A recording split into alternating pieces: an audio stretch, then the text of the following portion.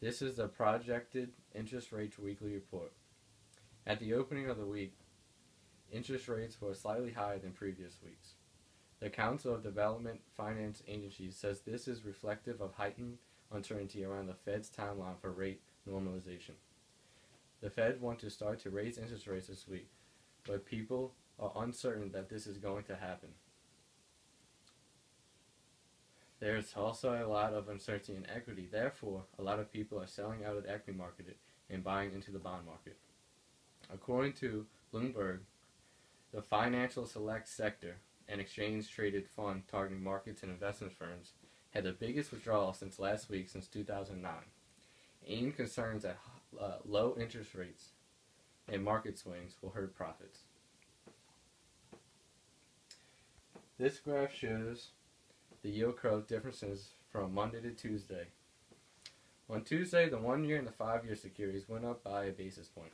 Also, the 10 year and the 30 year went up by three points. According to Fox Business, the yield curve steepens a little because investors are waiting for Wednesday's meeting of the Fed's policymaking body. The Federal Open Market Committee for signs about a possible timeline for interest rate hikes. This meeting is going to determine what is going to happen with interest rates, if they're going to stay low for a little longer or finally start rising. Fox Business also said that the Fed is winding down its 4 trillion bond buying program, known as a quantitative easing. That is heightened concerns about whether the US economy is strong enough to sustain growth without support. This graph shows the forecasted rates Tuesday compared to Monday. The price of the 10-year bond went up and the rate went down and there and there was more of a sell-off of short-term bonds rather than the long-term bonds. On Wednesday, the yield curve rose and steepened.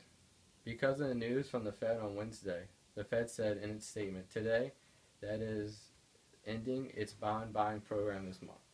According to the Morningstar, the Fed also kept language that it will keep rates at low current levels for a considerable time.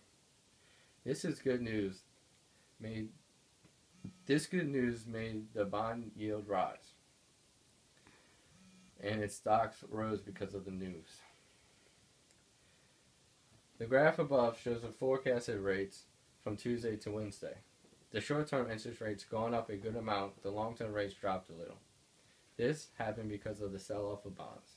According to Reuters, the Fed expressed confidence in U.S. recovery and said it would remain on, on track despite a slowdown in many parts of the global economy, especially Europe. Specifically, the Fed said of labor resources is gradually diminishing. On Thursday, the yield curve steepened because of the short-term bonds prices fell more than the long-term bonds. According to CNBC, bond yields sank to session lows after report of U.S. growth was boosted into the third quarter by a surge in defense spending and a narrower trade deficit. Growth in the U.S. was high just because of defense spending. This is not how we want the GDP to rise. This graph shows the interest rate forecast from Wednesday to Thursday. The forecast one year rates didn't change much from Wednesday to Thursday, besides rates in year 4 through 9, when which went up and down because the oil prices going down. On Friday, the yield curve shifted up upward due to the Bank of Japan. According to the Nasdaq, U, U.S. Treasury bonds pulled back Friday as the Bank of Japan surprise decision to beef, beef up their monetary stimulus boosted investors' appetite for riskier assets. When the yield curve shifts upward, usually means the price goes down. The yield was trading near its highest levels in three weeks. This graph shows the forecasted interest rate from Thursday to Friday. Interest rates didn't change much besides the maturity on 3 and year 10, which both went up. This happened because yield curve shifted downward on Friday. These two graphs show the full week one is a year curve, and the second one is a forecasted of interest rates.